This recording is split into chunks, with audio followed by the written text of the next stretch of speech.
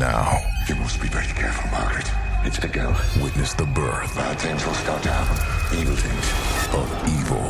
It's all for you. No, don't. The first omen I believe the girl is to be your mother. Mother of, of what? is the most terrifying 666 is the mark of the devil. movie of the year. Real. What's not real? Who did that? The first omen. Rated R. Under 17 not admitted without parent. Now playing only in theaters.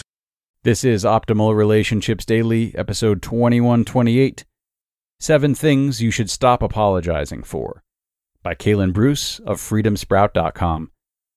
Hello, everybody, and welcome to another one of our Sunday bonus episodes. I'm Greg Audino, and if you don't know, each week on Sunday we air two episodes. One is our normal ORD format, and in the other we actually share previous audio from another show on our network so you can see all that we have to offer. And today's comes from our main show, which follows the same format, but is focused on overall personal development, called Optimal Living Daily. So, with that, here is Justin, the narrator over there, with his narration and his commentary as we optimize your life. Seven Things You Should Stop Apologizing For by Kalen Bruce of freedomsprout.com. We don't always mean it when we apologize. Sometimes it's just cultural and natural. My goal here is to release you from unnecessary guilt in your life. I'm guilty of this guilt as well. We all do it, but we don't need to. So let's go over some stuff we shouldn't be apologizing for. Number one, your house. Sorry, my house is such a mess. Sometimes I like to say, now it's time for the obligatory apology for the condition my house is in when people come over. It lightens the mood and breaks the ice, but it also shows that I don't really feel the need to apologize for it. We have five kids. Our house isn't always pristine. Your house is your house, not your guests, so there's no reason to apologize. We all like to do the mandatory cleanup before people come over, and then we wonder why our house isn't always in this cleaned up condition. It doesn't have to be. We should keep clean houses because it boosts our mood and we know where things are when we stay organized. But if there are clothes on the couch or you forgot to wipe off the counters, no apology is necessary. Number two, your car. Sorry, my car is such a mess, or sorry, my car is older. Seems like every time I get in someone's car, they say, sorry, it's so messy. First off, I don't care, and nobody cares. Second, it's almost never the disaster they seem to think it is. A lot of us practically live in our cars, and if someone else's car is messier than yours, there's no problem. They're still giving you a ride, so that's something to be thankful for. I've also noticed a trend of people apologizing for having an older car. I typically use this as a segue into a conversation about how most millionaires drive older cars. There are typically two types of people when it comes to cars those who understand cars keep a lot of people poor, and those who are poor because of their car. I applaud the first group, yet these are the people who apologize. There's no standard you have to live up to. Stop apologizing for the condition of your vehicle. Number three, your children. Sorry, my kids are so hyper, messy, loud, etc.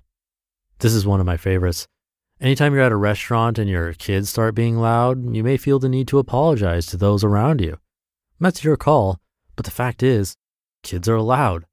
Not all the time, but often they are. Everyone knows kids can be loud, messy, hyper, and plenty of other things. You don't have to apologize when your kids act like kids. Of course, they also shouldn't be running around acting like they own the place. There's natural kid tendencies, and then there's discipline. Both are natural, but if you're doing your part and your kids are acting like kids act, no apology is necessary.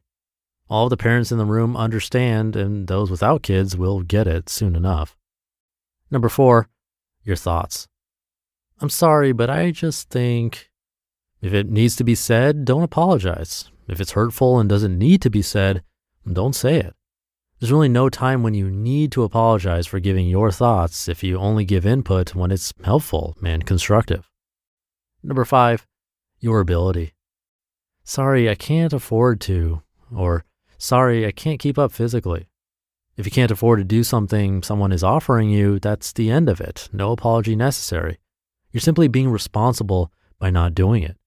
If you can't keep up with someone in the gym or when you're out running, that means you're in a different place physically than they are. You're growing, you're getting better. Don't be sorry for that. Number six, your time. Sorry, I can't make it. We all like to say, sorry, I can't make it to your party or event, etc. If you can't make it to something, you don't have to apologize for that. Limiting commitments is a good thing. We probably all need to say no to more than we do. If you can't attend something, you don't need a reason other than the fact that you can't go. There's no need to make up an excuse. We're all limited on time, and we all have the same amount of it. People understand. If they don't, they may not be good for you anyway. And number seven, yourself. Sorry, I didn't hear you. Or, sorry, I am so blank. If you didn't hear someone, it's often not even your fault. If you are a certain way, it's also often not your fault. Maybe you don't like large crowds or going out to the club with people. Whatever it is, you don't have to apologize for it. It's your prerogative. If you don't want to do it, you don't have to. That's the beauty of being an adult. We all tend to say we are sorry more than necessary and more than we even mean it. Words matter. We should use them intentionally. That being said, it's not always healthy to use, that's just the way I am, to justify something that shouldn't be that way.